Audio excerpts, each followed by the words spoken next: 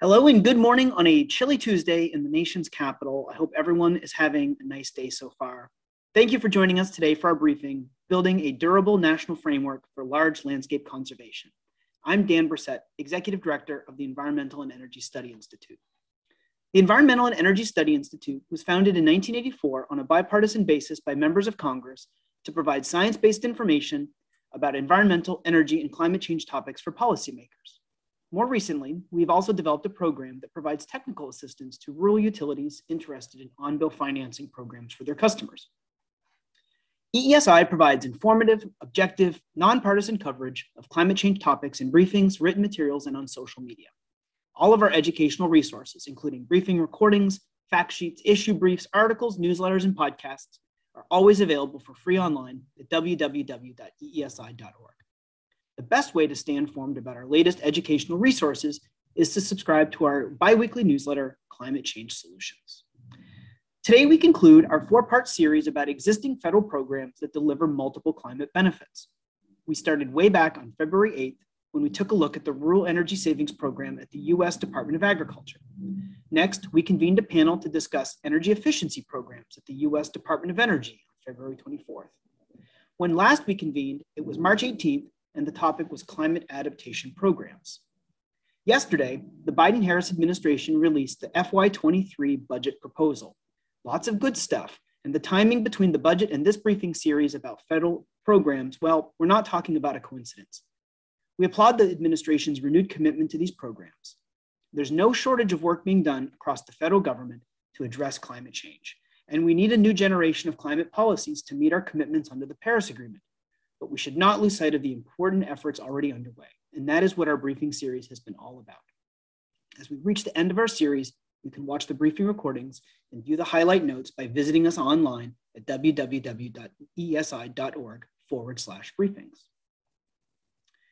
I always talk up our biweekly newsletter because it is a great compendium of resources about climate change solutions, which also happens to be its name. Our last issue from two weeks ago was all about land management and conservation and it contained a multitude of additional written resources, like an article about collaborative conservation in Alaska, a Q&A with the director of the Nevada uh, Department of Wildlife, and an overview of a recent Senate Committee on, Environment, on Energy and Natural Resources Subcommittee on National Parks hearing about the Land and Water Conservation Fund and the National Parks and Public Lands Legacy Restoration Fund. So I could not be more eager to keep learning today from our panelists about large landscape conservation. The need for coordination between county, state, tribal, and national borders is so essential to climate change solutions across the board. And our panel today features representatives from government, the nonprofit sector, and philanthropy, who will describe how this coordination and multi-sector mobilization of key expertise and competencies adds up to more than the sum of its many parts and helps advance a much needed inclusive and durable national framework for landscape conservation. It's a good example of what needs to be done, as well as a great example of how climate mitigation and adaptation can best be done. Let me remind everyone that we will have some time for questions today, and we'll do our best to incorporate questions from our audience. If you have a question, you can send, to us, uh, send it to us via email at askask at eesi.org, or even better, you can follow us on Twitter at EESI Online and send it to us that way. Before our, our, before I turn to our panel, I would like to introduce Lynn Scarlett, who will help us get started and understand the issues at stake.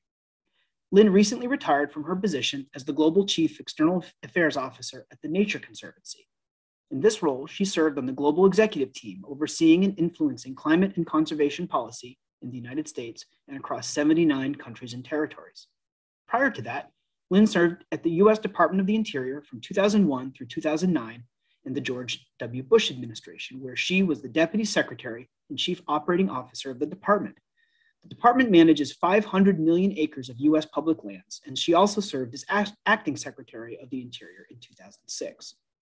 More recently, Lynn chaired the Science Advisory Board of the National Oceanic and Atmospheric Administration from 2014 to 2019 and served on the US National Academy of, Sciences, sorry, US National Academy of Sciences Sustainability Roundtable She's currently a coordinating committee member for the Network for Landscape Conservation. Let us welcome Lynn into our briefing today. Welcome, everyone. As we contemplate lands, waters, and ocean in the United States, and indeed the world around us, we see a troubling tableau. Climate change and a wide range of human activities are impacting habitats, wildlife, and people at unprecedented rates, affecting lives, livelihoods, people, places, and wildlife. Our challenges transcend individual jurisdictions and properties. Consider drought, flooding, catastrophic wildland fire, sea level rise, the list goes on. Consider that for biodiversity, we need connectedness across large scales and corridors to link places and enhance species movement. We need conservation management on lands, coasts, and at sea. We need urban and rural engagement and action. In short, we need landscape scale, durable, collaborative, and inclusive conservation. We need all hands on deck. But what does this mean? It means a sustained embrace of conservation on working lands, in cities and the countryside, on private and public lands. And that means we need to help finance these efforts through public funds and marketplace investments. The good news is that many communities, farmers, ranchers, and others are increasingly engaged in working together to, res- to restore habitats, improve soil health, secure wildlife corridors, and much, much more. Their experiential knowledge of place helps pinpoint the possible and define the doable through the leadership of Indigenous peoples, local communities, towns, farmers, federal, state, and local agencies. Through these efforts emerge the trust, respect, and shared problem solving that arise from diverse partnerships. Durable solutions require linking livelihoods and healthy landscapes. For example, healthy soils bring greater land productivity, carbon storage, better water quality, and more biodiversity. We need to invest in actionable science to inform decisions in dynamic, interconnected, in increasingly complex contexts. And we need rules and programs that support collaboration. As we all look to the future, we have an opportunity to think big, think smart, and work together. To be successful, we must deploy a full suite of conservation tools, newly protected places, conservation on working lands, investment in natural infrastructure like floodplains to protect communities and enhance biodiversity. We need green infrastructure in cities and more. The good news is that collaborative large scale conservation is a centerpiece, a centerpiece of 21st century conservation.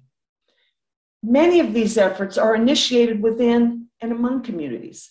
Large scale conservation and restoration initiatives are broadening in scope, scale, and extent. We see large scale conservation in the Gulf of Mexico, Puget Sound, Chesapeake Bay, the crown of the continent, in some marine reserves. We see other large scale restoration efforts in places like the Great Lakes, the Swan Valley in Montana, the Penobscot River in Maine. So many places, so many voices, so many caring hands across landscapes and seascapes. This collaborative focus at even bigger scales is emerging in both countryside and cities. Think about Chicago Wilderness or the Detroit River International Wildlife Refuge or Houston's Greenway System. All involve looking at systems and linking cities and countryside, enterprise, and environment. We need to build on those efforts and experiences. Poet Wallace Stevens once wrote, and I quote, perhaps real truth resides in a walk around the lake. Connecting with diverse communities in cities and countryside builds local knowledge of the textures and rhythms of a place. And from that connection to place springs a passion for action. Yet that's still not enough. We need funding. Funding of collaborative conservation partnerships, of science, of protected places and their management. And we need innovative financing, things like water funds that invest in watersheds to protect urban waters. The tasks are challenging, but many building blocks are in place. Now we need to bring these building blocks and endeavors to new levels for conservation that benefits people and nature. Thank you. Well, thank you, Lynn, for joining us this morning and helping us get our briefing on the best possible foot. Um, lots of really uh, great messaging in your comments today, and I'm really looking forward to hearing our four panelists uh, elaborate and uh, share their perspectives on those very, very important topics. It is my privilege to introduce the uh, first of our four panelists. Um, so let me welcome Deborah Rocque, Dr. Deborah Rocque, uh, to our panel today. Uh, Deb is the Assistant Director for Science Applications for the U.S. Fish and Wildlife Service, where she coordinates the service's science needs and works with partners on collaborative conservation. Deb firmly believes that there are opportunities for everyone as the conservation community expands its work in creating a network of connected lands and waters that support functioning ecosystems. She lives on a small working farm in Western Massachusetts. That sounds really, really nice, where she enjoys, uh, where she uh, shows that working lands are integral to conservation and enjoys all things outdoors. Deb, good morning to you and welcome to our panel. Good morning, Dan. I'm gonna see if I can't share my screen here. Um, how am I doing? Looks great. All right, awesome. Um, well, good morning and thank you. Um, what a great lead off, Lynn. It's my pleasure to be here this morning discussing one of my favorite topics, collaborative conservation. I want to just take a moment to thank the Environmental and, and Energy Study Institute, the Center for Landscape Conservation, and the Network for Landscape Conservation for sponsoring this webcast and inviting me here today. Um, Lynn mentioned a few things that I hope are going to be themes throughout. She talked a lot about interconnectedness. She also talked about that there's a lot of great things that are happening out there, these established collaborative partnerships, but that they need a little bit of support. She also mentioned the role of public and other funds to create durable, inclusive, collaborative partnerships that operate on landscape scale. And I think the underlying theme, maybe for all of this, is trust. She mentioned trust. Before I get started, I want to take a moment and acknowledge all of what's going on in the world today. It certainly is a lot. And I think because it's a lot, many people don't think about all of the environmental issues and the conservation challenges on top of all that other stuff.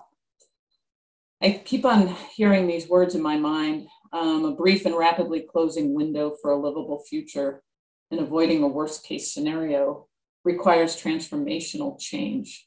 I'm quoting from the IPCC report from uh, February 27th. And I'm bringing this up not to add one more thing to the pile that is already a lot, but to really focus on that, that phrase transformational change. The transformational change, I think the kind that is needed to address um, our big conservation challenges really requires us obviously to do things differently, trying new things and being okay at failing. And most importantly, giving up those things that we know are not working. You know, we've traditionally measured our conservation successes by the acre, by the species, and by well, the stream mile. And we have had undoubtedly some awesome and great successes. But I don't, I don't believe that this is any longer an accurate measure of our success given today's conservation challenges. So before I get down to what needs to change in regards to landscape conservation, I, I think it would be good for all of us to collectively understand um, some of the past and to hear about what's still working and then what needs to change. So I want everybody to keep in mind that although landscape conservation and creating a national framework may not appear to be transformational change to all of you, it really is to some. So let's get started in our, uh, our journey for history. So about 15 years ago, a group of folks within the Fish and Wildlife Service and the conservation world had a really great idea.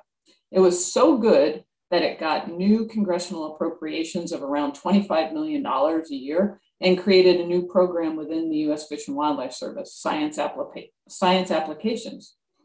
This program was created to address complex conservation challenges using a landscape conservation pr- approach, as well as to work on and understand and mitigate climate change.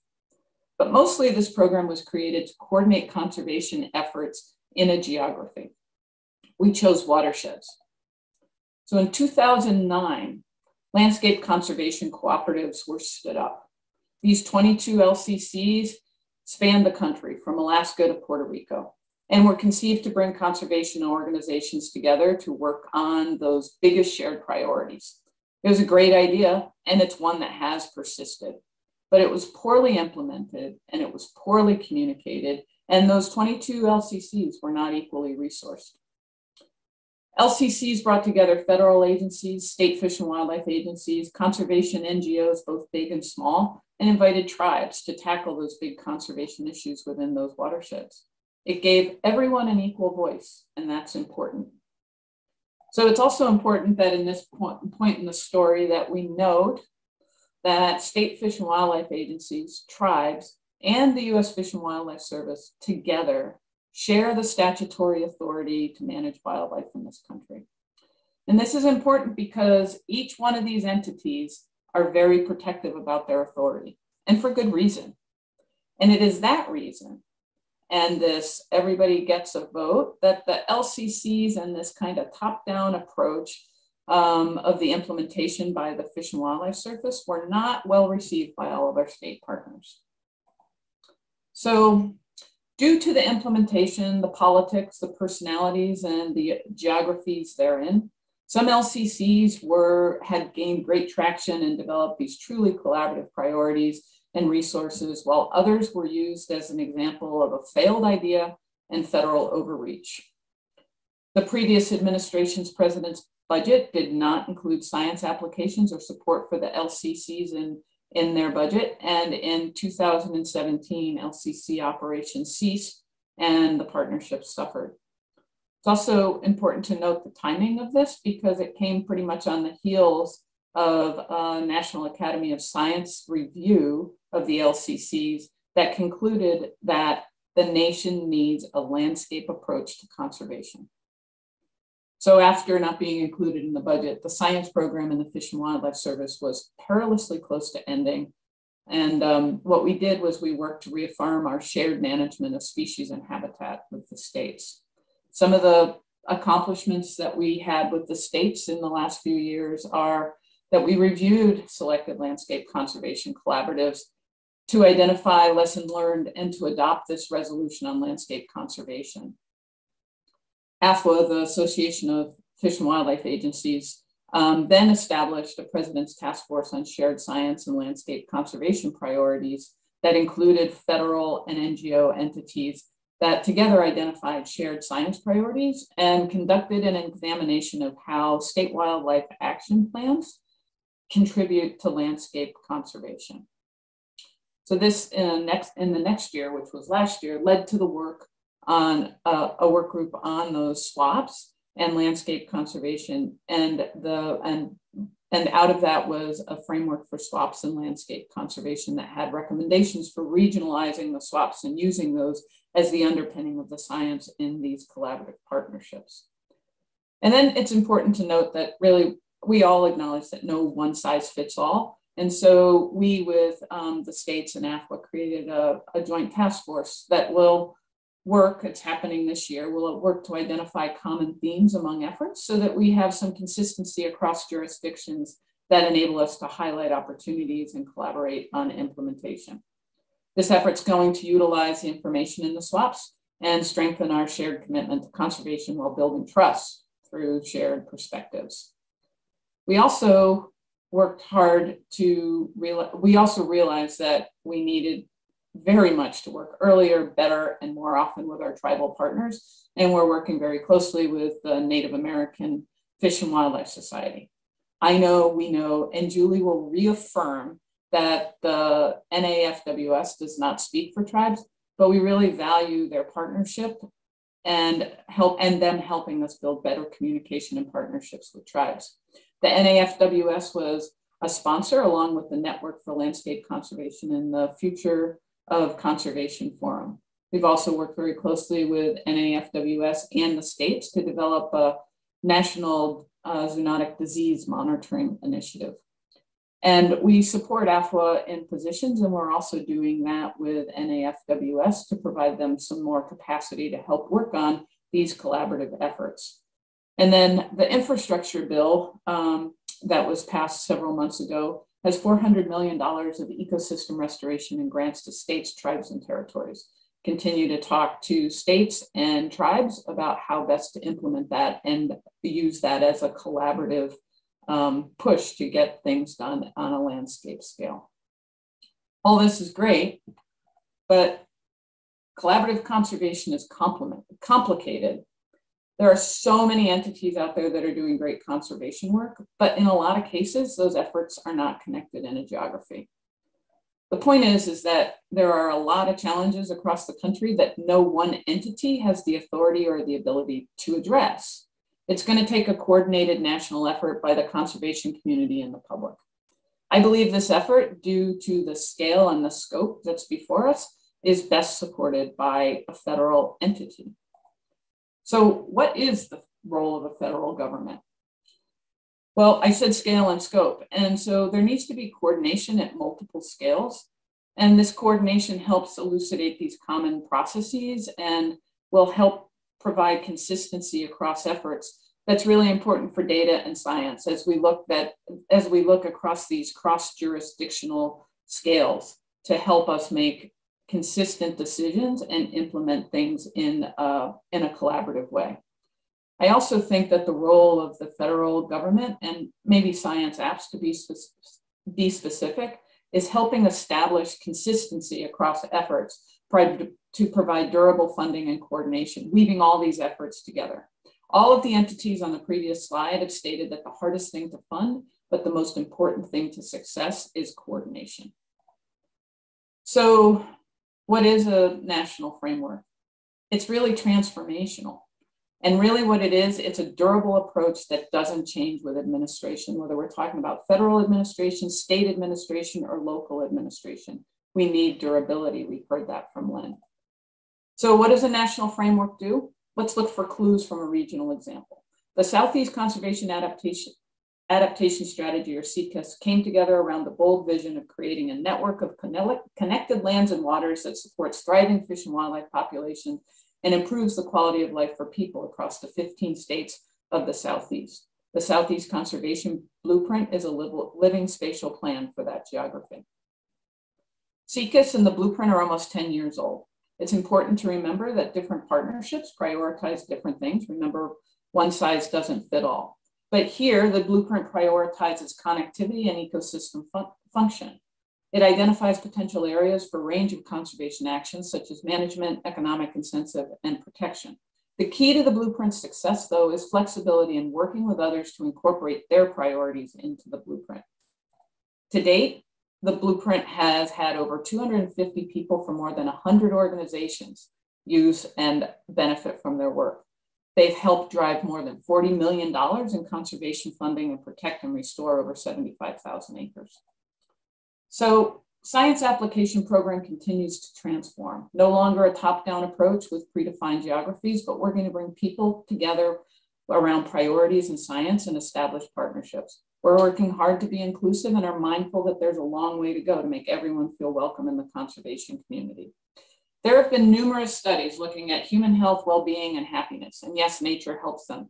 But it turns out that con connectedness is critically important to human health the same is true for ecosystems. The future depends on us working together. A national framework will drive investments and support coordination. It's the transformation we need right now. Thank you very much for this opportunity to talk with you today. I look forward to the rest of the webinar. Thank you. Thank you, Deb. Uh, that was a great presentation and a great way uh, to kick off the rest of our panel. Uh, that brings us to our second panelist, Dr. Julie Thorstenson is the executive director for the Native American Fish and Wildlife Society, um, the organization that Deb was just talking about, and a member of the Cheyenne River Sioux Tribe in South Dakota. She grew up on a cattle ranch on the Cheyenne River Sioux Reservation in north central South Dakota, where a love for the land and the environment was instilled in her. Dr. Thorstenson has worked in Indian country her entire career in various positions, including as a wildlife habitat biologist and health department chief executive officer, officer for her tribe. Julie, it is wonderful to welcome you to our panel today. I'm really looking forward to your presentation. Ihani washte Julie Thorstenson and Machiapi, Woksapi Kigluhamni Lakota Machiapi, Me Lakota, Wakpa washte Taha, Iokpio Wachianke, Intancha Native American Fish and Wildlife Society. Good morning, my name is Julie Thorstenson. My Lakota name means she carries her wisdom with her. I am Lakota and a citizen of the Cheyenne River Sioux Nation in north central South Dakota. I'm really happy to see you, even if it's virtually. I am also the executive director of the Native American Fish and Wildlife Society, a position I've held since May of 2019. Thank you for the opportunity to speak today about the benefits and challenges of including tribes into landscape cons conservation. And thank you, Deb, for kicking us off in a good way. I want to begin by giving a background of the Native American Fish and Wildlife Society. NAFWS is a 501c3 nonprofit organization founded in 1983 by a group of tribal fish and wildlife professionals that really saw a need and for a place and a platform to network and raise tribal fish and wildlife issues to a national level. Our mission is to assist Native American and Alaska Native tribes with the conservation, protection, and enhancement of their fish and wildlife resources. We are a membership organization with over 227 support member tribes in our seven regions. This means that 227 individual tribal nations have given a resolution in support of our mission and our work. And as Deb said, we do not speak for tribes. We also have individual members, mostly tribal fish and wildlife professionals, are those who work with them throughout Indian country. There are 574 federally recognized tribes in the United States as of 2022. This includes 229 Alaska Native tribes and over 100 tribes in California alone. Tribes are unique, sovereign entities. Tribal sovereignty means tribes have the inherent right to govern themselves. But each tribe has their own histories, cultures, and language and priorities. Tribes own or influence the management of nearly 140 million acres, including more than 730,000 acres of lakes and reservoirs, 10,000 miles of streams and rivers, and 18 million acres of forests. These lands and waters provide habitat for fish and wildlife, including more than 500 species listed as threatened or endangered. These lands and waters also provide the first foods, medicines, and cultural and sacred sites to Native people. Tribes are a vital part of fish and wildlife sustainability and conservation. Recent studies indicate that lands managed by Indigenous people are higher in biodiversity.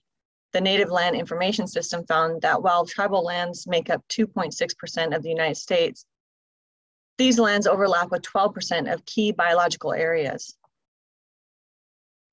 There's a lot of diversity within tribal programs. We have tribes that own zero land and some that own millions of acres.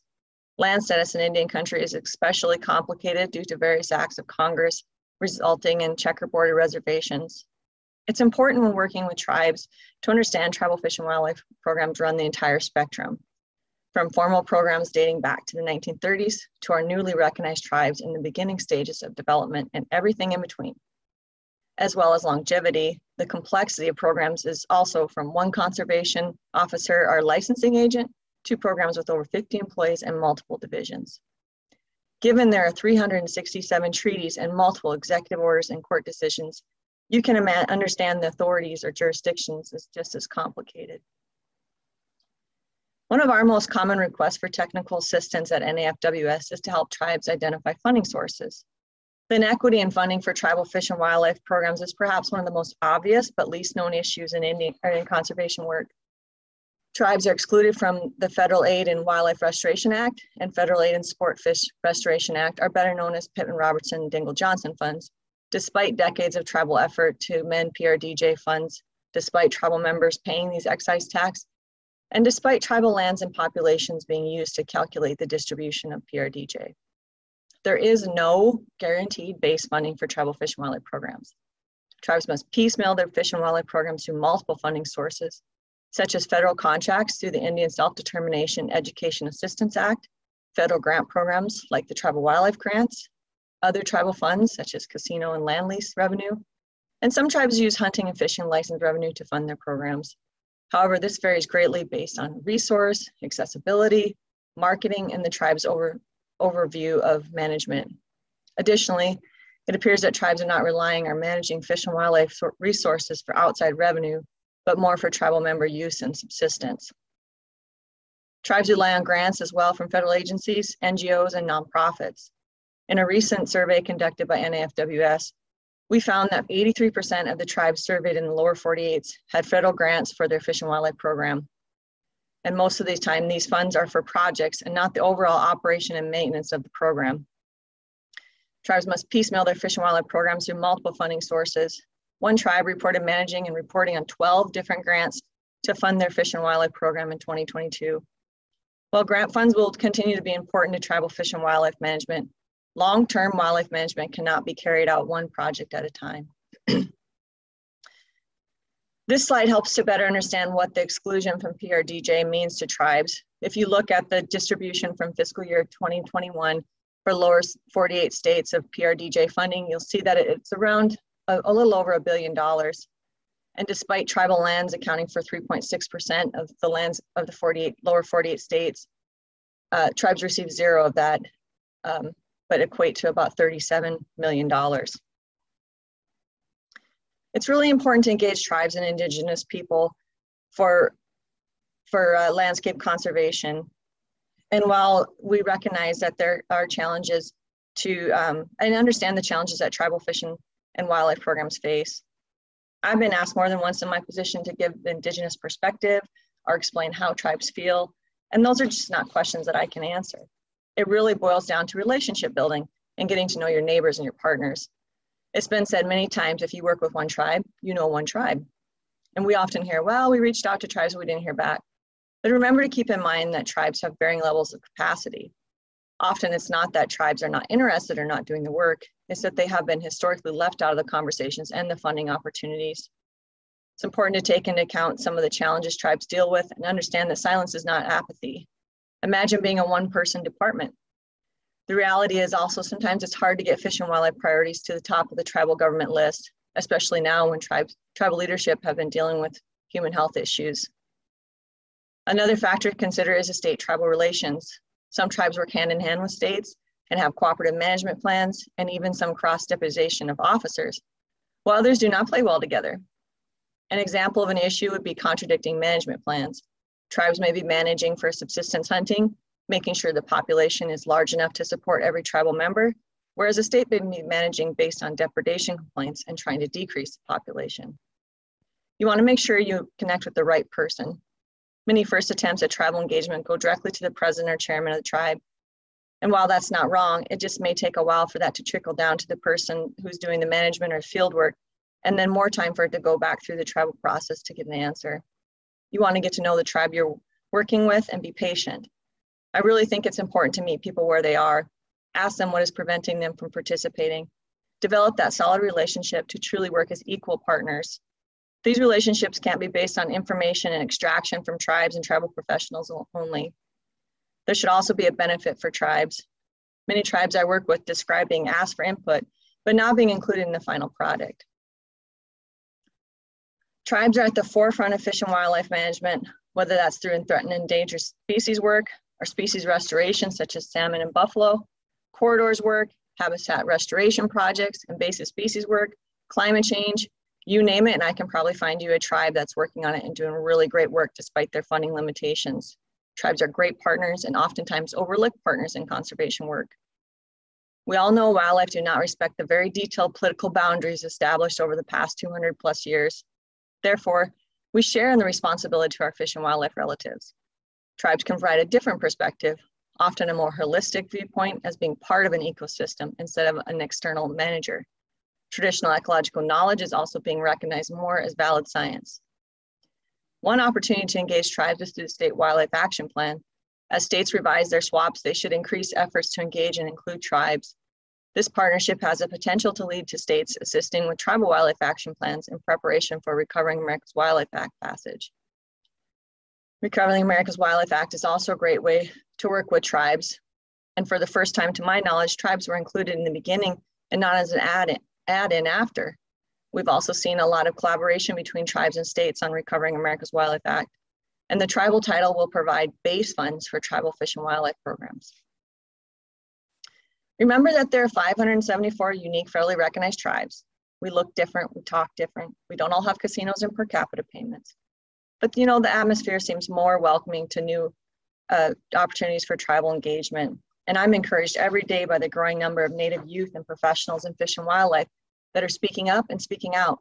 Let's hope this is the first step to a truly inclusive, collaborative national framework. There are some great places to start. such as NAFWS, and many more intertribal or regional tribal organizations that don't necessarily speak on behalf of tribes, but can help identify and network the right contact person. For our federal partners, many already have existing pathways such as Executive Order 13175 and President Biden's commitment to improving and implementing it in his January 26, 2021 memorandum. Other federal examples include the U.S. Fish and Wildlife Service Native American policy and co-management and federal contracting authorities under Public Law 93638. There are too many voices missing from our conservation conversations. The barriers to participating in these conversations are real, and the real path forward is to identify and remove as many of those barriers as possible. We met with an NGO once where we were told they would be really happy to tell our story as they advocate for wildlife conservation and funding. We politely responded, thank you, but nobody tells our story better than us. And the problem is tribes lack the funding and capacity oftentimes to even be at the table to tell that story. We welcome the long overdue efforts to include tribes and other underrepresented populations in conversations, especially around conservation of natural resources.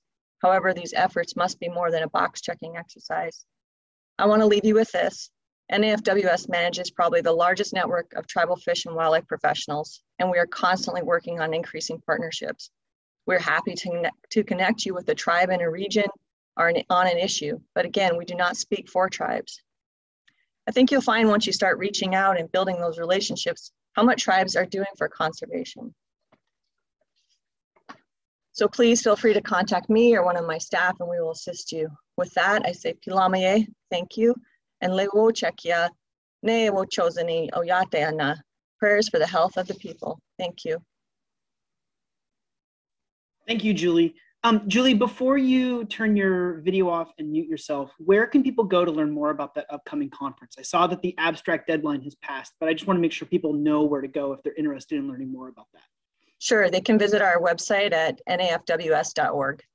Great, thank you very much. And um, great slides. Um, I love those wildlife crossings. Those are such a good idea. it's too bad there aren't more of those. So um, Julie gave me uh, an important reminder to remind everyone in our audience that our slides of our panelists are available. So if you'd like to go back, revisit Julie's presentation or go back and re, uh, visit Deb's presentation, you can do that by visiting us online at www.eesi.org. Uh, if you have questions for our panelists, and we're only halfway through our panel, we still have two more speakers coming up, um, you can send us questions and we'll do our best to incorporate those questions into our discussion. Um, you have two options. One is you can send us an email the email address to use is ask, ask at eesi.org. You can also follow us on Twitter where we're live streaming today's event and our Twitter handle is at EESI Online. That brings us to our uh, third panelist today. Uh, Anna Wearn is the Director of Government Affairs for the Center for Large Landscape Conservation. Um, in this role, Anna works with partners to develop and advance policies that reconnect habitats and promote collaborative conservations at the landscape scale. Previously, she worked for the National Forest Foundation, the Natural Resources Defense Council, the U.S. House Committee on Natural Resources, and the Center for Natural Resources. Thank you, Dan. This morning, you've heard inspiring leaders discuss the role of federal and tribal agencies in collaborative large landscape conservation. I will now be sharing with you the role of non-governmental organizations, NGOs, before turning it over to Sacha Spector, who will discuss the role of philanthropy in advancing the pace and scale of these collaborative efforts. Next slide, please. Two key ways NGOs are promoting locally led, nationally scaled collaborative conservation are through first on the ground action. By this, I mean supporting existing partnerships, catalyzing new partnerships and initiatives, and creating networks of partnerships. Second, through visionary action, to advance a more durable and inclusive national landscape conservation framework. This includes convening and participating in dialogues regarding shared goals, concerns, and needs, developing and advancing policy recommendations emerging from those convenings, and advocating for sustainable funding, inc including bolstering and coordinating federal investments and blending public dollars with private ones. Before fleshing out those roles, I want to take a step back and share my perspective on what large landscape conservation means and why it's important. Large landscapes and seascapes are the spaces where people, species, and ecosystems interact, and where the local, regional, and national scales intersect. Coordinating at the level of a regional ecosystem or watershed allows community-driven conservation to achieve results at a magnitude not otherwise possible. This collaboration enables conservation partnerships, also called collaboratives, to address shared problems or goals that could, be, that could not be tackled independently.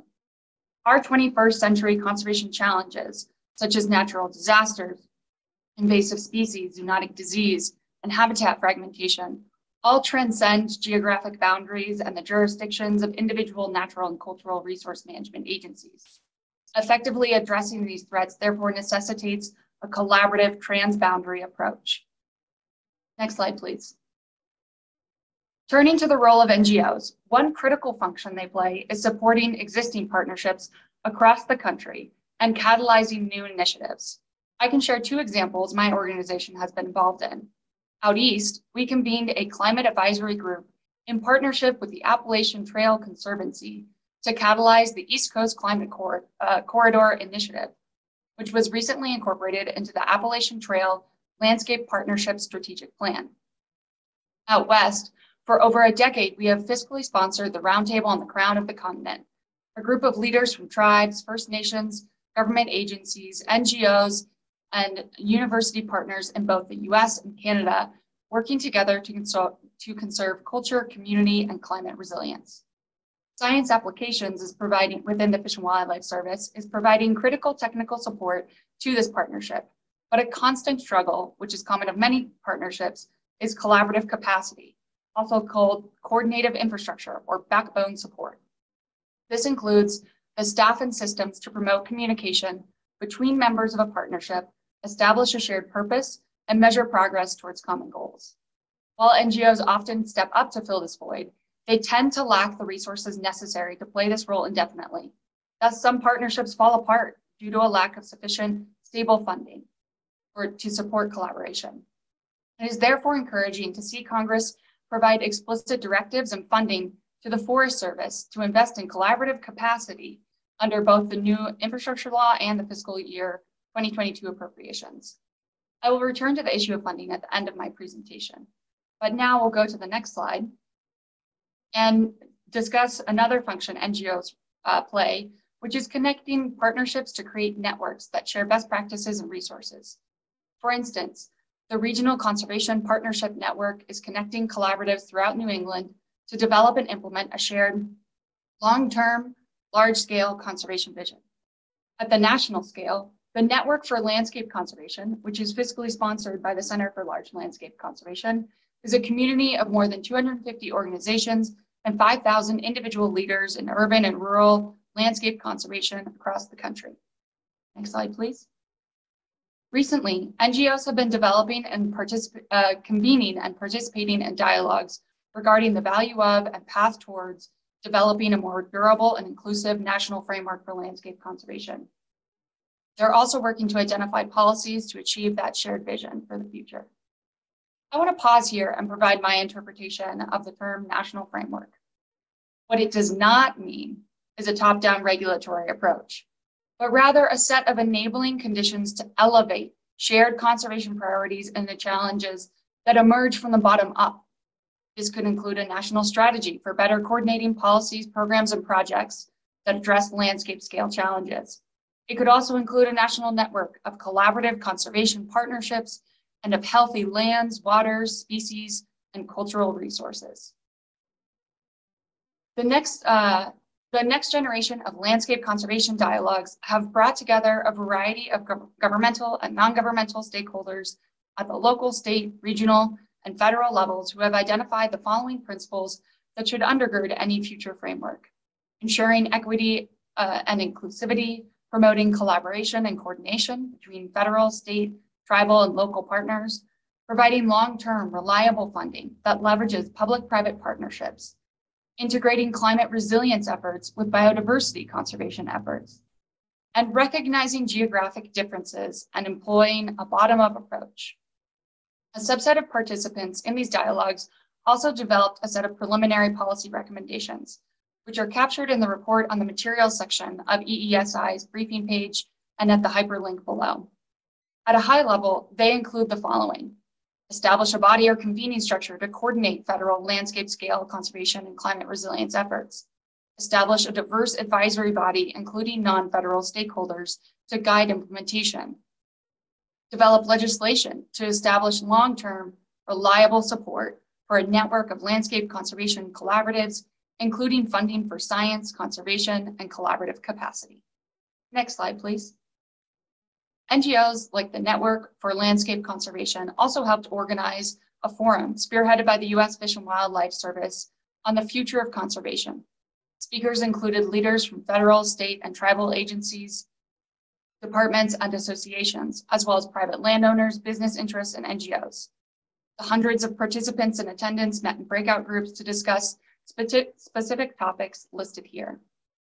There appeared to be a common desire for weaving together efforts and creating decision support tools for strategically and collaboratively prioritizing conservation actions and investments. The needs that cut across all of those themes seem to be inventorying existing efforts, partnerships, and lessons learned, building trust and collaborative capacity to, to cooperate across jurisdictions and scales, increasing equity, inclusion, and outreach, and securing more sustainable and robust funding all of which echo the themes from the next generation of landscape conservation dialogues as well. Next slide, please. In addition to the dialogues regarding a national framework, NGOs have been initiating discussions regarding landscape conservation at the continental scale. For instance, last year, the Salazar Center for North American Conservation held a symposium on conservation impact. The event featured practitioners, researchers, and local leaders from the US, Canada, and Mexico and Indigenous territories who discussed large landscape conservation goals. Additionally, NGOs convened a series of transboundary dialogues to connect conservation partnerships spanning the US Canada border and to discuss ways to address the impacts of development and climate change on transboundary, life, uh, transboundary landscapes. Next slide, please. NGOs have also been articulating the need for more robust funding for landscape conservation and collaboration. This includes securing larger amounts of money from more diverse sources over longer time horizons. The fiscal year 2022 appropriations legislation provided uh, $12.5 million for cooperative landscape conservation. While it's encouraging to see that this program has continued to receive funding under both, uh, under both Republican and Democrat controlled Congresses over time, this level represents about half of what the program received when it was launched in 2010, and approximately six and a half million less than was requested by the U.S. Fish and Wildlife Service in 2022, and again yesterday in the 2023 fiscal year President's budget. Simply maintaining basic support to landscape conservation partnerships across the country requires more funding than the program currently receives. But adequately addressing all the needs identified by the stakeholders in the aforementioned dialogues requires even more funding than the program originally received when it was established. What you see uh, in this list below uh, at fiscal year 23 funding are requests to conduct landscape conservation and resilience within a variety of federal programs. What is exciting about this list is that it reveals most natural resource agencies across departments are enthusiastic about engaging in collaborative landscape conservation, restoration, stewardship, and connectivity efforts. However, this list also reveals an opportunity to better coordinate myriad disparate efforts across the federal family. Next slide, please. The infrastructure law is another piece of recently passed legislation with major funding for conservation and restoration. Making the most of, this, of these historic investments in landscape connectivity and ecological restoration requires an unprecedented level of coordination across and within departments. This includes not only natural resource agencies, but others such as the Department of Transportation, which is heavily investing in landscape connectivity under the new legislation. Next slide, please. NGOs have been brainstorming innovative policies, programs, and models to better leverage funding for landscape conservation. This could include creating new programs modeled after successful examples, such as the Sentinel Landscapes Partnership, which involves funding and support from the, the Departments of the Interior, Commerce, Agriculture, and Defense as well as state, local, and private sources. Or expanding regrant programs like the Network for Landscape Conservation's Catalyst Fund, which invests in collaborative capacity building to match private dollars with public ones. Coordinating federal investments is necessary to strategically implement programs under annual appropriations, the new infrastructure law, the Farm Bill, and the Conserving and Restoring America the Beautiful initiative. Furthermore, there's a real opportunity to attract private investments to match those public dollars. Pooling investments allows programs to be less vulnerable to shocks when one contributor withdraws funding due to shifting priorities or changing economic or political conditions. Overall, just as ecological resilience is bolstered by connecting large habitats with a diversity of species, funding resilience can be bolstered by increasing the size of the fiscal pot and funneling together a diverse set of sources feeding into it. Now I will turn it over to Sacha to discuss existing funding models and new opportunities. Thank you very much for your presentation today. And uh, we are now going to turn to our fourth and final panelist. Uh, Sacha Spector is the program director for the environment at the Doris Duke Charitable Foundation, uh, where he oversees all environmental conservation grant making.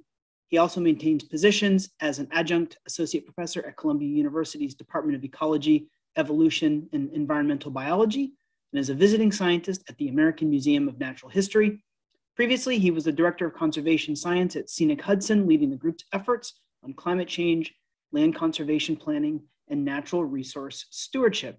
Sacha, welcome to our panel today. I'm looking forward to your presentation.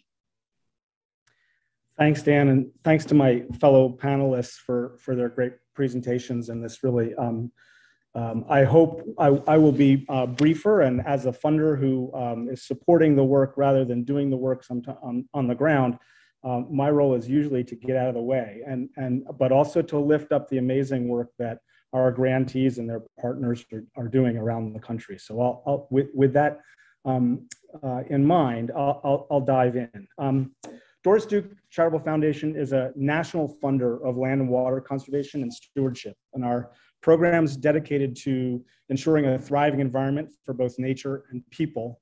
And our grant making is focused at the intersection of nature, climate, and equity. Now, like my fellow panelists this morning, we subscribe to the idea that landscapes and the collaborative efforts to conserve them is the most effective and inclusive uh, operative approach for conservation planning and action and success. Uh, next slide. Unlike a lot of the uh, funders of uh, nature and conservation work around the country, we, we are a national funder. And that, that gives us an opportunity to, um, to interact and, and learn from NGOs across the country, and also to see, see and think differently in some cases about what the community of, of conservation NGOs and, and their partners need. Um, we are um, about 25 years old, and we've uh, over that period of time have helped protect uh, almost 3 million acres of land across the, the country and supported hundreds of conservation initiatives across the US. Uh, this, is a, this is an image of a major uh, forest conservation project we, have supported um, in the southern, in the central Appalachians. Next slide.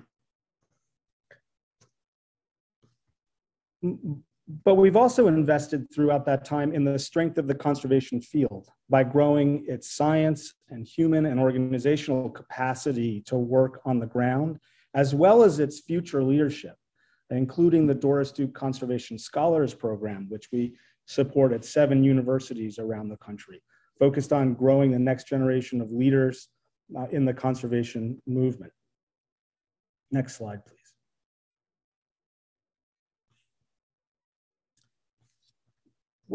Mapped here for you are is a landscape of landscapes. It's 122 collaborative landscape conservation initiatives around the country, the result of a national survey by the Network for Landscape Conservation. Each one of these pastel polygons represents a set of partners working to conserve the places that are most important to the folks who inhabit that terrain, collaborating together on shared goals toward a shared vision, working across jurisdictions and thinking at an ecosystem scale. It is the operative unit of conservation in this, in this country for achieving significant regional and national outcomes, but the benefits are, are accrued locally. What's hidden here, though, is the systems of financial support that sustain the capacity for these local nonprofits and grassroots organizations that are the heart of most of these collaboratives. And for most of these organizations, private philanthropy and individual donors make up the lion's share of annual budgets uh, that'll enable them to come to the table, to participate, and to lead in these collaborative frameworks. The Landscape Conservation Collaborative uh, Network that was, um, which was intended to support those kinds of efforts, both with convening uh, convening support as well as science and planning and a host of other technical assistance was a, was a, a wellspring of energy and resources for the NGOs who were at the table in, across the country. And, and replacing that um, is is the focus of this next generation uh, potential uh, for, for LCCs. But in the absence of that, private philanthropy came to the table recognizing the importance of that support for keeping collaboratives moving, keeping them resourced, and keeping them uh, engaged. Next slide, please. For example, in Alaska, the, uh, when the federal system of LCCs dissolved, the Northern Latitudes Partnership came together uh, in recognition that there was no better mechanism for them to achieve conservation across Alaska than to continue working together. And they've been able to persist despite the loss of the network, largely because they've been hosted by a non governmental organization, the Alaska Conservation Foundation, with backing from public and private funding sources, the US Fish and Wildlife Service, and a private philanthropy, the Volgenau Foundation. It's remained the most vital collaborative vehicle in, in the state. Next slide, please. in the Northeast and Mid Atlantic, as Anna mentioned, the Regional Conservation Partnership Network, long supported by the Highstead Foundation, is a network of 41 regional conservation partnerships. Each one is uh, an informal but organized set of folks representing private and public organizations and state and federal agencies who work together to implement and plan for a shared long-term conservation vision across towns or states and sometimes even international boundaries. The Highstead Foundation, through its support to the network, has been providing strategy and planning grants, convenings, trainings, peer-to-peer -peer learning opportunities, the kinds of technical supports and convening grants, or sorry, coordination grants that enable these, these organizations and these partnerships to persist. And what they've seen over their, their uh, decade plus support for this network is that the, the very investments that we're describing in the, in the coordination capacity of these partnerships is the most determinative factor in accelerating the pace of conservation and accelerating the pace of impact uh, of, these, of these collaboratives. Next slide, please. These are regional approaches and are also supported by regional funders. Two national funders, the Doris Duke Charitable Foundation and the Hewlett Foundation, have partnered over the last three years with the Network for Landscape Conservation to support the Landscape Conservation Catalyst Fund, another uh, funding model for supporting this collaborative work across the country. With relatively modest grants to uh, enable staff to coordinate these partnerships and opportunities for peer learning and training and collaborative best practice.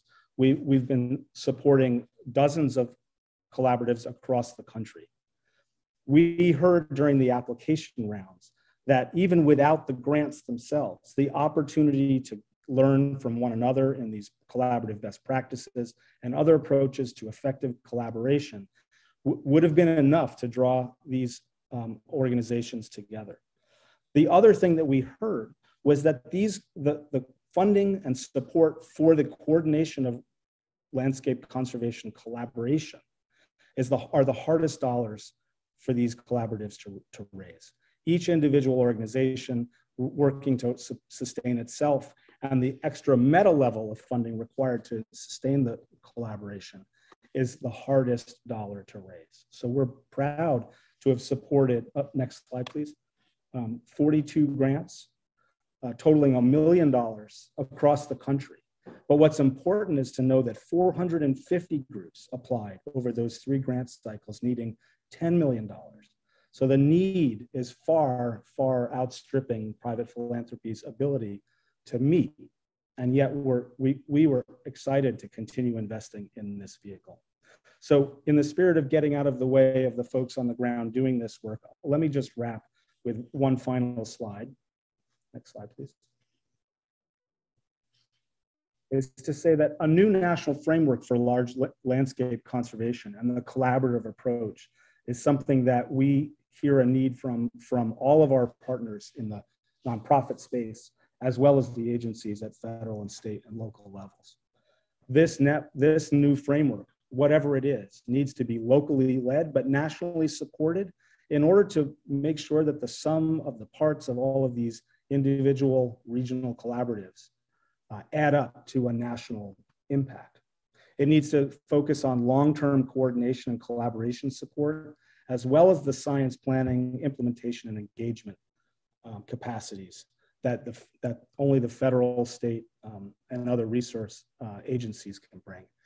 And it can be built around these flexible models of public-private partnership where philanthropy and local supporters can partner with state and federal funders, funding agencies to support these kinds of efforts.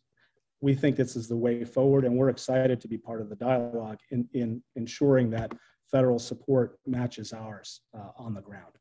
Thanks. I'm happy to um, join the panel in questions.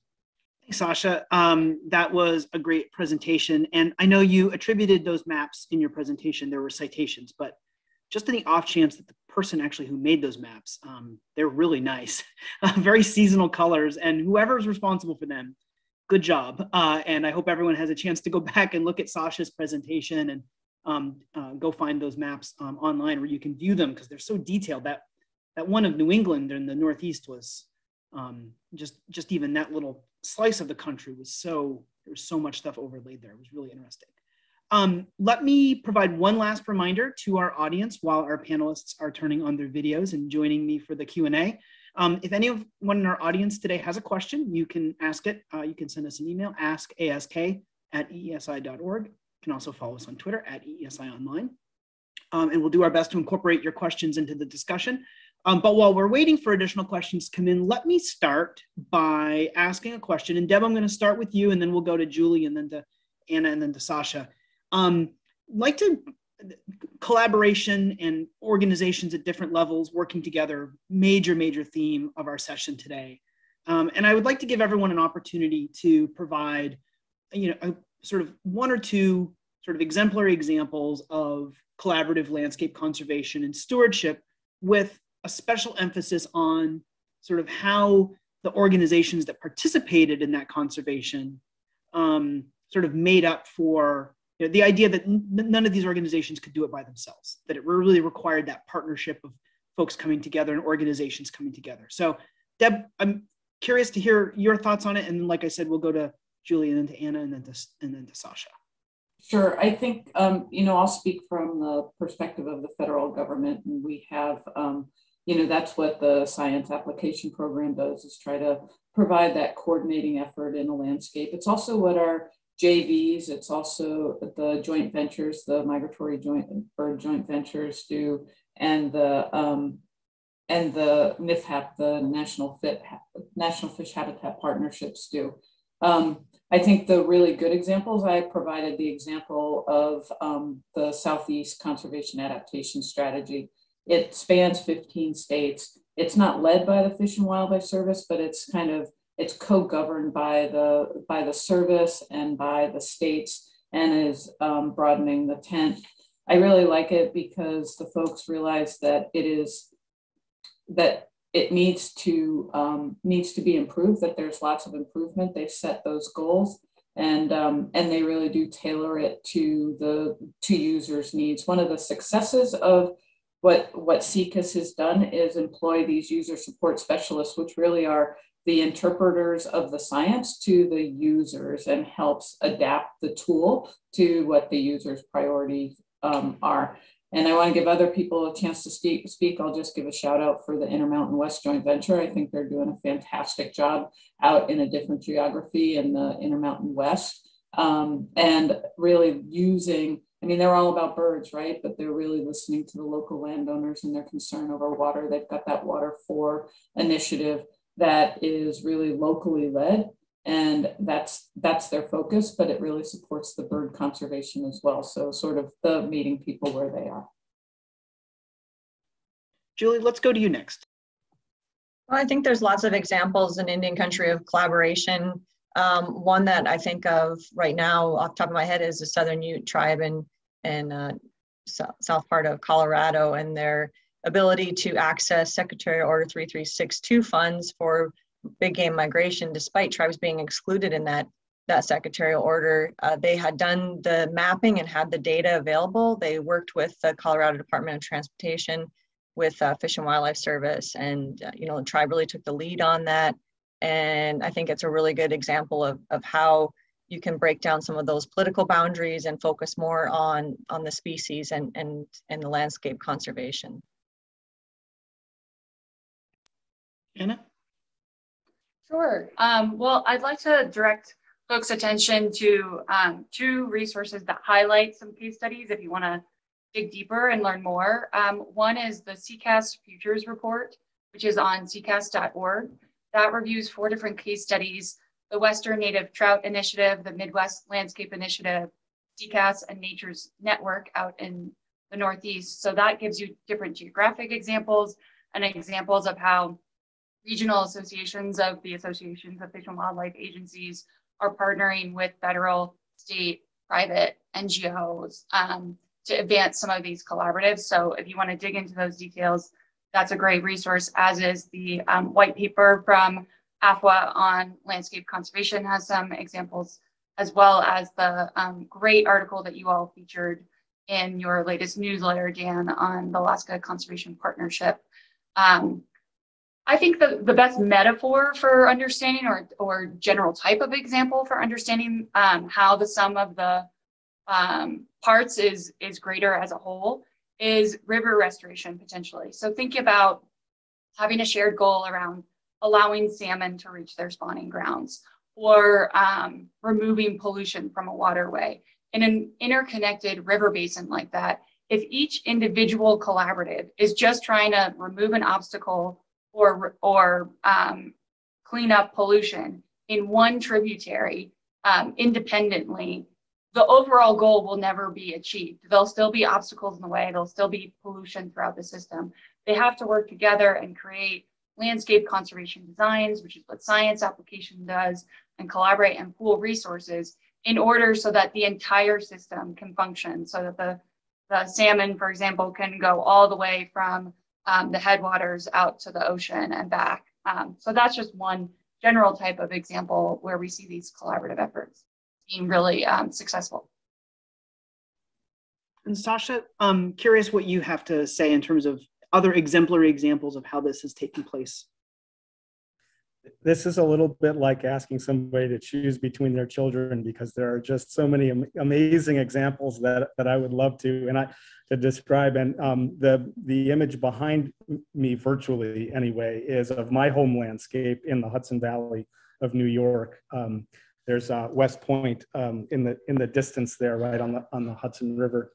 Um, and there is an amazing uh, uh, kind of roundtable of land trusts and other con- conservation uh, active activists in in the in that region that's working toward a common vision. But I think um, when I when I think about what the kinds of examples that um, are are most inspiring to me, I think a couple of ingredients really um, come to mind. One is that they become um, They become vehicles for parochial actors, in other words, folks with narrow focus on a specific mission or a specific geography, to see themselves in something bigger, to recognize that by contributing what they were contributing before within this larger framework, they contribute to the greater um, out the, the, the outcome or the impact that they couldn't achieve on their own. And that when they make choices between um, option a and b and, and option b leads to um, a contribution at that higher scale um, they're, they're able to understand that choice in that moment because of the collaborative and the other is that it's really bringing um, different people to the table who wouldn't meet or collaborate otherwise. Um, and so in that respect, I, have just mentioned two. One is the, the Appalachian Trail Landscape Partnership, which is knitting together some 70 partners along the length of the Appalachian Trail to think about not just the trail, but, but the landscapes that they are individually working to conserve as part of something far larger than they could ever attack on their own.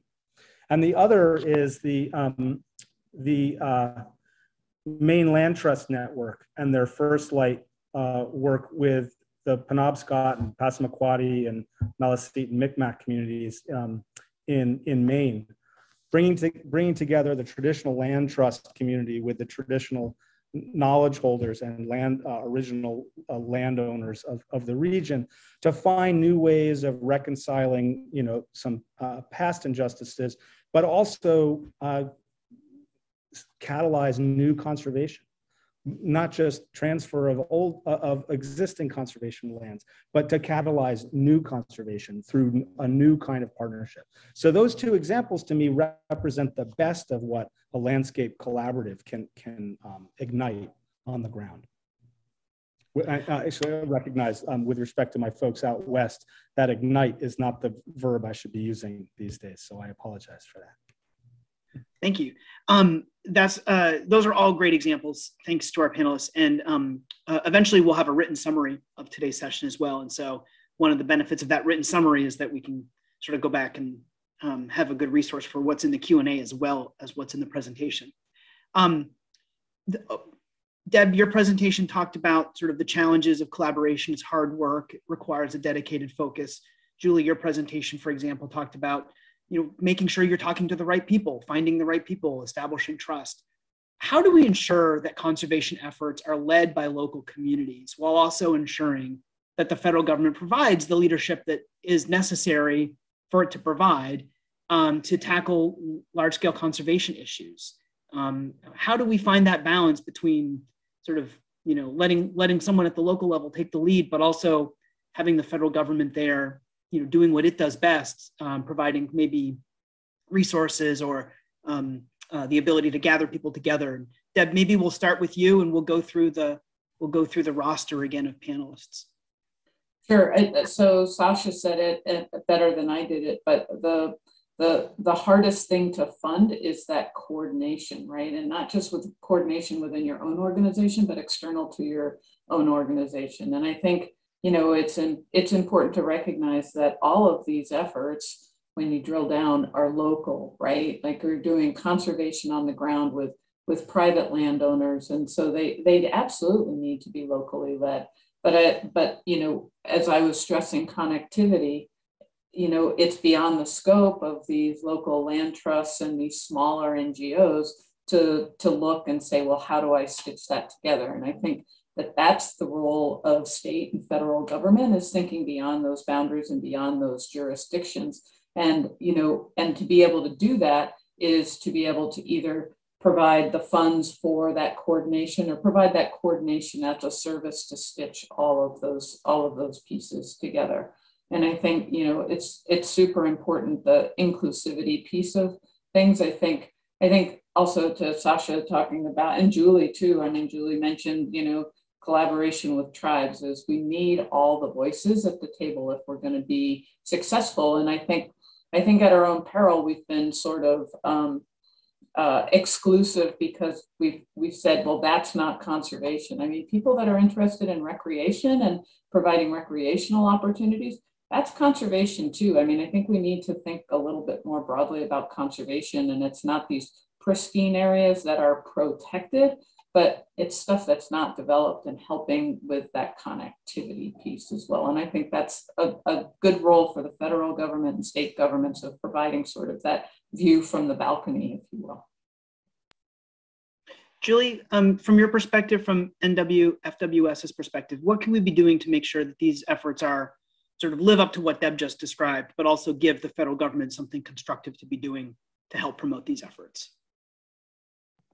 Well, I think I mentioned it several times that tribes are just underfunded and under capacity. And, you know, to really be able to have meaningful, robust, and regular consultation, you have to be able to be at the table. And so that's going to require some funding just to just to get tribes up to that level.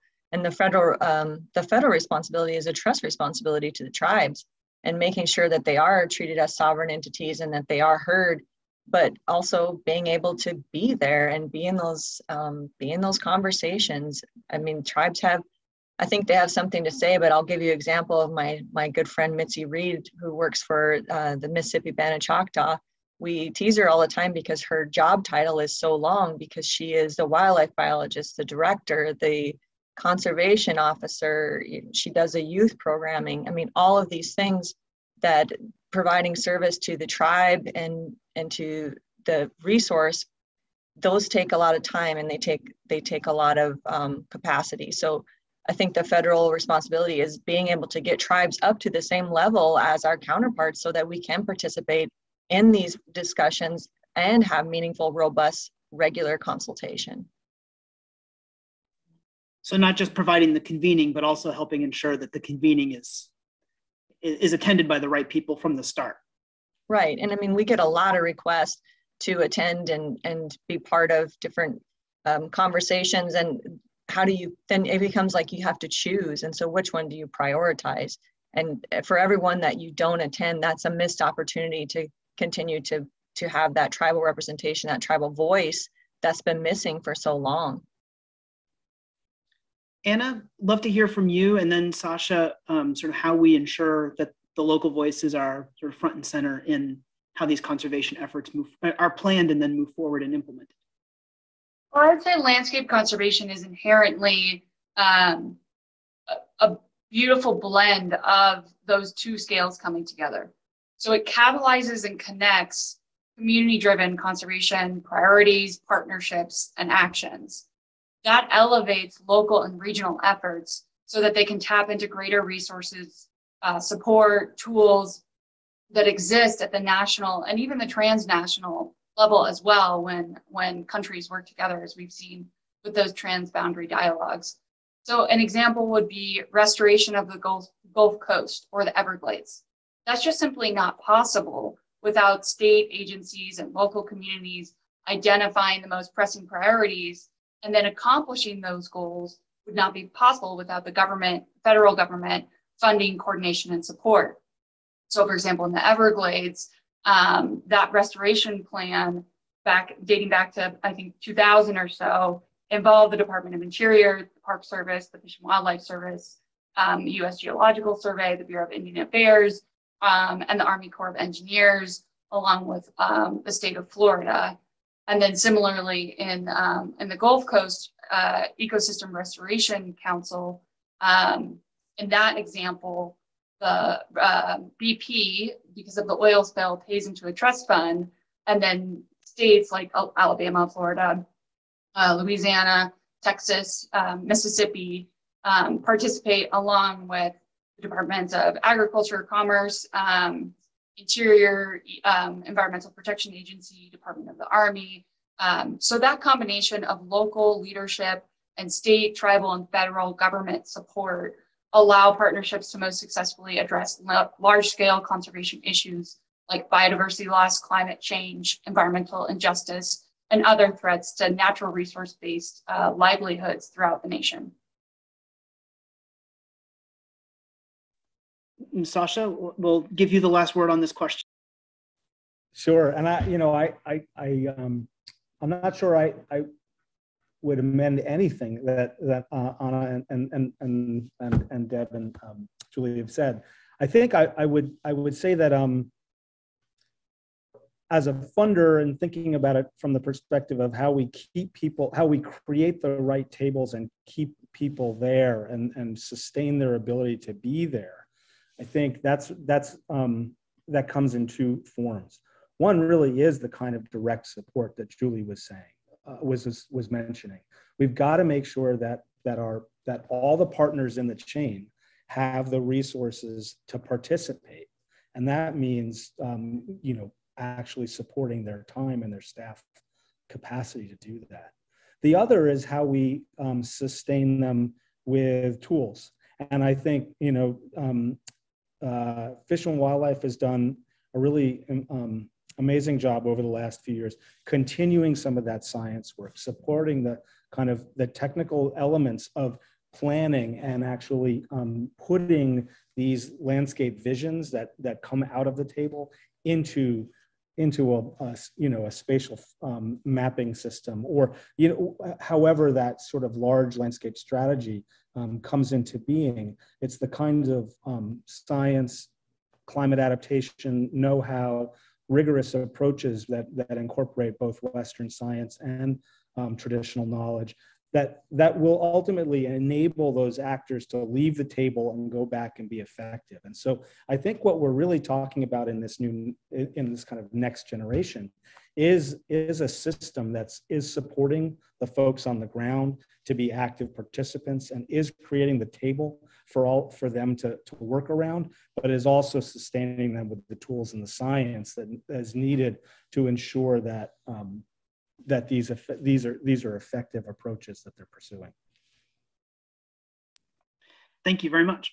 Um, for this next question, maybe we'll start from the middle of the order. Maybe Anna, we'll start with you this time. Come up a couple times. There's this infrastructure law. It's out there. Congress passed it last November.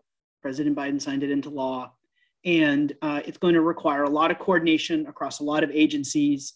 Um, over the course of your presentations, many of you mentioned it uh, sort of in terms of specifics of what it was going to provide. I'm curious, uh, I've, I've, sort of a two part question. One is um, sort of going forward, what lessons should we be applying from past landscape conservation to what's about to start happening or what's about to start happening? Yeah, my verb tenses are all messed up today. Going forward, now that we have the infrastructure law and with special focus, and this question comes to us from the audience, I'm going to incorporate it here what should Congress be looking for as the infrastructure bill, as the infrastructure law is implemented? What are the kinds of things that might be an indication that it's working as intended, or what might be an indication that maybe it needs to be improved to work as though it actually needs to work to, you know, fulfill the needs of all the people involved in these conservation efforts? And Anna, we'll start with you, and then we'll go to Sacha, uh, Julie, and we'll give Deb the last word on this one. Wow, there's just so many exciting opportunities in the infrastructure law. Um, I identified two of them in my presentation that I can elaborate on a little bit more um, and how lessons learned might be helpful in implementing those programs.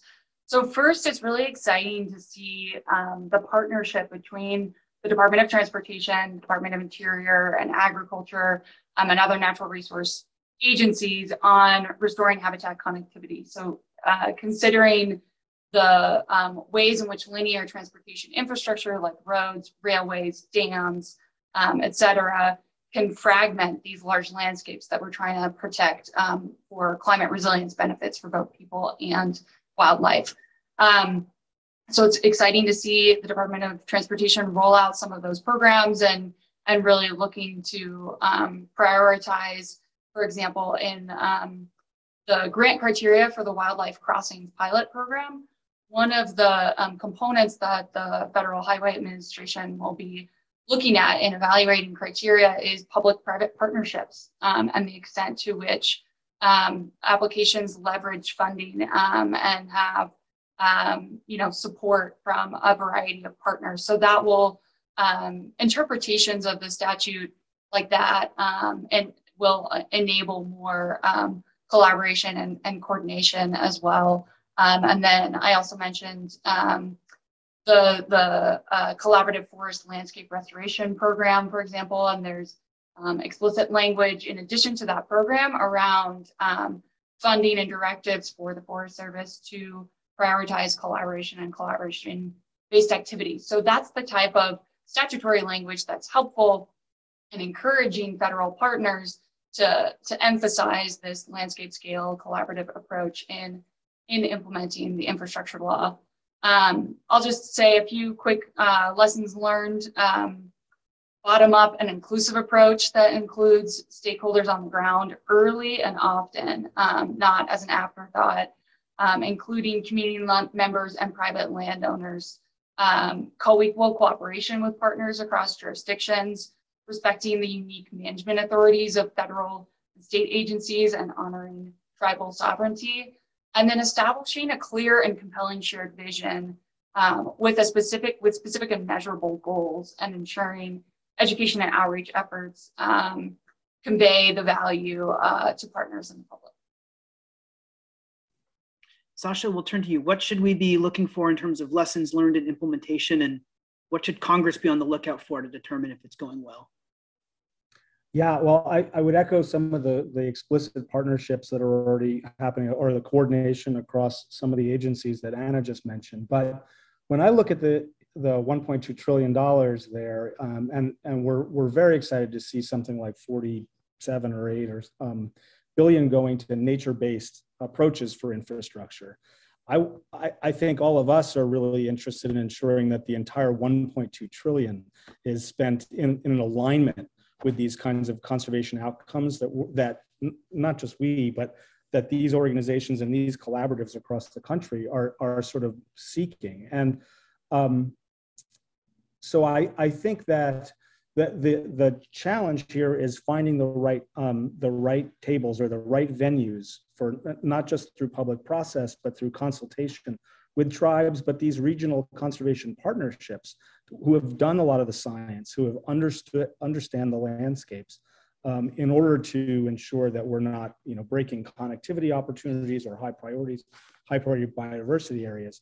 But again, rem remember, there's only one landscape and all of this all of these objectives around infrastructure and conservation have to be met on the same one uh, on the same single landscape and um, which just really it begs the question of of how we do that from the outset so that it's not um, through exclusively through the lens of a NEPA review but much more a pre-NEPA consultation process that allows these projects to be sited right and designed right from the start. And that's through all kinds of infrastructure. Julie, let's turn to you. What should we be looking for as this infrastructure law is implemented? Well, I think Anna and Sacha both have great points, and, and I would echo what they said. I, I think one of the things we want to make sure is that the, the funding is accessible and there aren't barriers to um, people being able to access it. Uh, you know, a lot of times I know it's grant funding, but something that may seem very simple in Congress, such as a match, is actually a, a huge barrier for many um, tribes to participate in in funding. We, you know, we're really excited about the the connectivity pilot project, and and we do realize that that is a grant process, but I, I think that's a really great place to show some collaboration across a large landscape. And we have several tribes that are that are interested in this that are doing the work. Um, we recently hired a wildlife connectivity coordinator, and she's already contact had contact with 50 tribes that are interested are doing the work on the ground. So that's something we're really looking forward to. But again, we want to make sure that that it's equitable and that tribes are able to access that funding and that they're treated as as true sovereigns. Um, also, want to make sure that, as Sacha and Anna said, that it's you know the process is is down packed and, and it's it's inclusive at the get go, so that it it is sustainable across um, years in administration. So um, I think there's a lot of opportunities here to get it right this time, and, and I look forward to seeing that. Yeah, that issue of durability come up a lot today. Something that we have to really keep um, in front of mind. Deb, I think this means you can help close us out. I think this means you have the last word. Okay, great. Thank you. Thanks. Thanks to everybody. So what everybody said, yes, and we need a national framework that helps decision to support of where the money goes. We don't know what our national priorities are. We don't know what the priorities are in a landscape. When we're investing, whether it's federal dollars or private dollars, those funders want to know that we're going to accomplish what we set out to do and that we're going to be able to move on. Yes, every place in the country, in the world needs help conservation wise, but we can't keep spreading the dollars out and hoping that it all works out. We've got to connect and we've got to make some decisions. Is it grasslands? Is it coastal marshes? Is it the, is it water in the West? Is it fire? I don't know and I don't have an opinion about that, but we need to have some consistency so we can help make decisions and make those investments and actually start accomplishing functioning ecosystems and connectivity in a very equitable and inclusive fashion. Well, thank you very much for those final comments. And thank you um, for the four of you being fabulous panelists Deb, Julie, Anna, and Sacha. This was a really, really excellent panel. Um, we are just about out of time. Um, so sorry about running a couple minutes over, but um, the, the four of you did a fabulous job. And thanks also to Lynn uh, for helping us kick off the panel today with her, her excellent introduction. Um, in addition to um, sort of all the thanks of being great panelists today, and a special thanks to you and your colleagues for helping um, sort of pull all these ideas together into a cohesive panel. And, um, you know, the best panels are the panels with the best chemistry. And the four of you had really, really fabulous chemistry. And the way your, your comments built on one another, I think um, those are the kinds of things that when I'm in the audience of an EESI briefing, which I used to do when I worked on Capitol Hill. Those are the things that really pop for me. So thanks to the four of you uh, for being great panelists. Um, as we close out, um, I would like to um, thanks everyone in our audience today uh, for joining us. Uh, as we wrap up today, I'm very pleased to share that our next briefing will be April 8th, and it will focus on the transformative potential of Justice 40, the administration's environmental justice initiative. Um, we'll be talking about where it is today and where it needs to go. And you can visit www.eesi.org to RSVP for all of our briefings. And when you do, please take a moment to sign up for Climate Change Solutions. Um, we had uh, lots and lots of great resources back in our March 15th issue about land management and conservation. And we have great resources coming out pretty much every day. And the best way to keep up with them all is to subscribe to our newsletter. Um, we also have a few other briefing series popping uh, at the end of April. Oh, my colleague Dan O'Brien just put up a reminder of our agencies and actions. He told me he was going to do that, and I just forgot. These are the four briefings in this series. Today, obviously, building a durable national framework for large landscape conservation, but you wouldn't want to miss any of the others. They were really, really great. Uh, and uh, uh, the webcast, the presentation materials, uh, summary notes, all of that stuff is available online at www.eesi.org. And our next two briefing series will kick off a little bit later in April, or in April. Uh, we will be looking at living with climate change, uh, and we will also be talking about um, some of the big technological, high upside technology advancements and deployments that we need to make rapid gains uh, to reduce greenhouse gas emissions. So uh, stay tuned for that. Um, I mentioned climate change solutions a couple times. Uh, this happens to be our last briefing in March. It also happens to be the last briefing um, that our colleague Amber Todoroff uh, has helped put together. Uh, Amber is leaving EESI in the coming days. She has uh, lots of wonderful adventures ahead of her, and we will miss her dearly. Uh, so I just wanted to acknowledge all the hard work that Amber put into this briefing, but also our climate change solutions newsletter, um, she came up with our very first briefing mini series back in April 2020, climate adaptation data, uh, which was a big success. So thanks very much to her and uh, for being a great colleague. And we wish her all the best as she uh, takes her next steps. Um, and uh, I'll let her fill in all of the details herself one on one. But um, she's come, really great stuff ahead of her, and we're very very proud of her, and and we wish her all the best. So thanks to her uh, for all of her work. Thanks also to my colleagues, Dan O'Brien, uh, Omri, Emma, Allison, Anna, and Savannah, and our interns, Emily and Grace, for pulling everything together and live tweeting and taking, keeping track of slides and all of that. Um, thanks very much to them. Um, this last slide is a survey. Uh, it only takes two minutes. We read every response. If people in our audience have two minutes to take our survey and let us know what you thought of today, uh, did the audio sound okay? Did the video look okay? Do you have uh, ideas for future topics. Like I said, we read every response and it means a lot when our audience takes time to help us improve. So this is the link you can use to take the survey if you have a moment. We'd really appreciate it. We're a couple minutes over. I'm sorry about that. Uh, thanks again to Lynn for the wonderful introduction and to our panelists, Deb, Julie, Anna, and Sacha. we'll go ahead and wrap it up there. And I wish everyone a great rest of your Tuesday. And uh, thanks so much for joining us. We'll see you next time.